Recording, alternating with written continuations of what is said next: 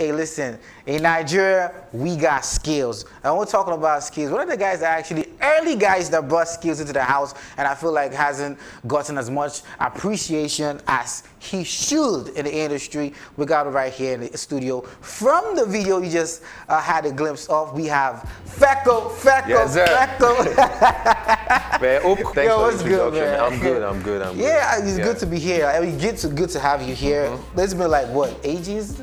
Over a decade, man. Damn, Yeah. man, damn, man. Well, uh, for the young cats who don't really know, I know people are very in tune with Ycee and the rest Yeah. of them. They don't really know that some people actually Black started the game. yeah. You dig? a lot of people who actually started this game before these guys came up, right? Uh, as an OG in the game, mm, tell me how you think rap has, you know, evolved. Um, it has evolved tremendously, you know, starting from the days of Swat Rootz. You know, let me start from Junior and Pretty. You know, Chai. in fact, before Junior and Pretty, there was an era, the emphasis that was like 1990, 91. But let me just go further into Junior Junior, and Pretty, yeah. Mm. um, Remedies, Trybesmen, Swat Rootz. You know, then you had the Tribes. Um, Two Shots, Sasha. Yeah, then yeah, you had yeah, like yeah. Night House coming up Night with House, Phenom, yeah, yeah. Kel. Yeah. I mean, then you had like myself came on the scene, and then you have like Boogie, you And the had rest. Terry. I mean, it's, it has It's- it's- evolved. it's a lot. Sauce Kid till now. So now, man, shout out to all the guys holding it down, now, like Ladipoe, you know, Yeah, signed to Ladipoe, uh-huh. Mavins. So it has evolved. You know, before it used to be like strictly boom bap. Yeah, but now yeah. you find a lot of rappers experimenting with different sounds, you know, experimenting with Afrobeat, like what you just heard. True. You know, it was like a, a mixture of Afrobeat and trap. So the sound has evolved, you know, and I'm happy that Nigerian hip hop, you know, has gotten to this level now. But MI came out to say, rappers. How did I, how did I forget MI? Yo, MI had come out MI, to say, yeah. MI made the, the game, you know, look successful. Like I would say he's like the most successful English rapper. Yeah. In Nigeria. Mainstream artist, yeah, yeah, Yeah, yeah. mainstream English rapper. Yeah, yeah. You know. No facts, facts, facts only. And it's it's it's it's really you gonna really have to work extra hard to take that Mm. True, true. from him. But MI coming out to say Yeah. SA rappers do it better than us? Yeah. Mm-hmm. Fix up your life. What, what what was your feeling He about was, that? he was just trying to like re- rejuvenate the game because at that time I, I felt he thought people were sleeping, you know, Mm-hmm. MCs were sleeping. So it was just like, yo, get up, man, get get back to work, you know. and you didn't feel I some type of way. Nah, nah, nah, I didn't Feel I mean, Vector did feel some type of way. I don't know, but And you know you did this, you did you did Vector. I- come point. on, Yeah, man. I did- I did- Yeah, I didn't, come on. yo, yo, Uh, man, like, I, I need to clear, thank God you actually Alright, brought this yeah, up. Like, alright. I, I didn't this Vector. I mean, me and Vector, we cool, Mm-hmm. you know, like, we go way back, we're cool. So, like, there was some sort of misconception on Twitter. Yeah. You know, there was a line off a song and then people started tagging in.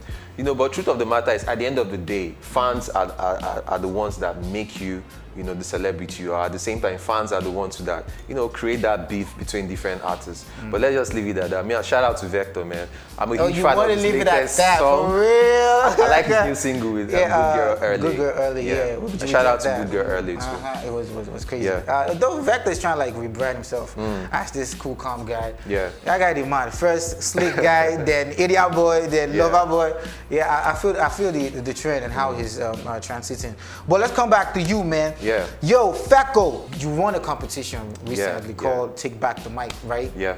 Uh, it was a Pan African. Was it Pan Yeah, it was Pan African. You had people from South Africa, Yeah. people from Rwanda, Yeah. Mauritius, Kenya, Ghana, and then Yeah. Nigeria. That's six African countries. And there were like three semi finalists from each of these African countries. And we are not just rappers, we had graffiti artists, we had break dancers, and we had MCs. Like the elements of hip hop were fully represented in that show. And it's called the Mic Africa. It aired in Kenya, it aired in Tanzania. I saw a few endorsements. Endorsements from uh, Okay. uh, Lady of Rage.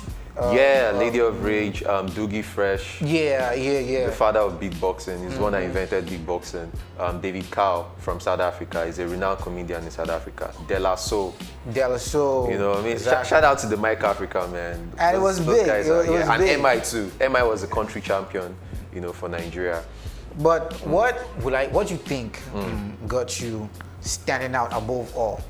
What do you Okay. think was that element? Yeah, so for the Mic Africa, people that have not watched it yet, Mm-hmm. they can go to takebackthemic.com to watch it. So basically, I'll say it's my documentary, you Mm. know, because we all had different stories to tell. It's our story. And by the way, that same documentary, of mine, whereby I talked about Mushin, because I grew up in Mm-hmm. Yeah, Mushin. yeah, yeah. You know, got shortlisted for an award in New York Mm-hmm. this week. The name of the award is the People Tellies Award, and I'm contesting alongside other shows by HBO, Disney, Al Jazeera. So that's It's huge, huge. man. So like, guys, like I really need you guys to vote for so that Africa will bring this home. If Burna could do this, could do it, I could Yeah, also do it. we could also do it You know, too. so I- I'll say it's my story. You know, like. But okay, before we go, how do they vote? Just let them know. Yeah, just I mean, um, follow me on this is Fecko on Instagram, IG, yeah. on IG. Then go to the link in my bio, you know, to to check out the voting links and everything. Okay, your documentary, because you did a documentary Mm-hmm. that has to do with how you came up, Yeah. right? There's this thing with rap. Okay.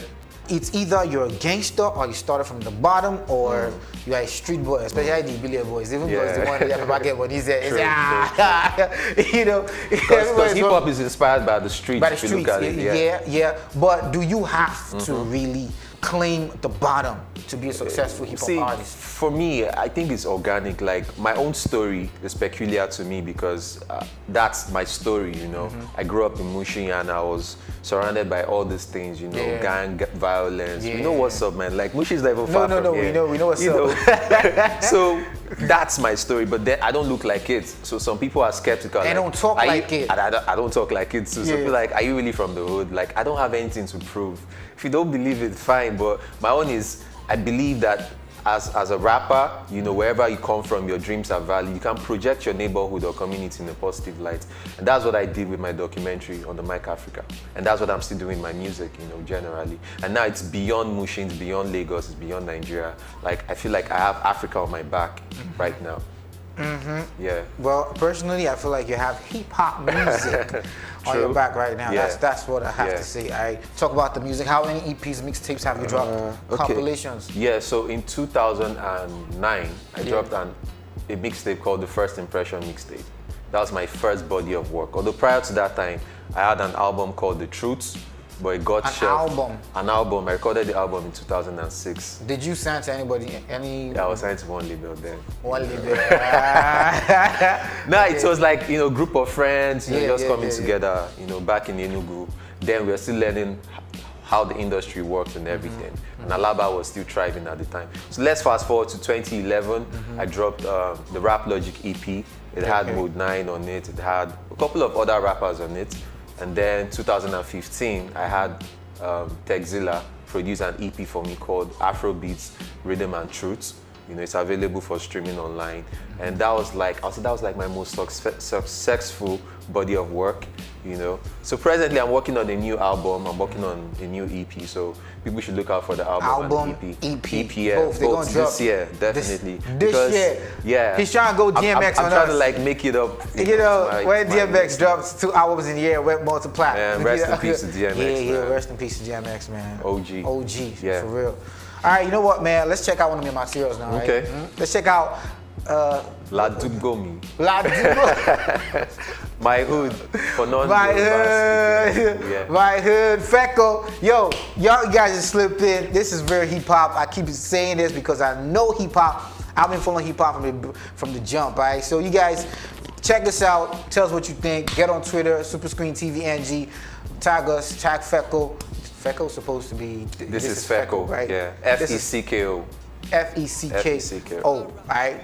We'll be back. One. Yo, you're welcome back into the Big Bang Show. That was Ladugbo Mi Yes, by sir. the man. Fecko, Fecko, Yes, sir. Fecko, Fecko. I like the line where you said Ask WC, one, day comes from, here. you know. You know, well, the ghetto has mm-hmm. projected a lot of talent. True, But it's beginning to look True. like now for there, we even they see clients. Also, like it, you know, Ajegunle too has his own story. Yeah. Yeah. Showkey, footballers, Benji. musicians, mm-hmm. Even athletes. Don Jazzy spent some time in Ajegunle. Yeah, yeah, yeah, You know, yeah, He yeah. re- revealed that in an interview with Ebuka Yeah, recently. see, So, now cousin one can, one say, yeah, yeah, yeah. Damn, bro. So, shout out to the hood, man.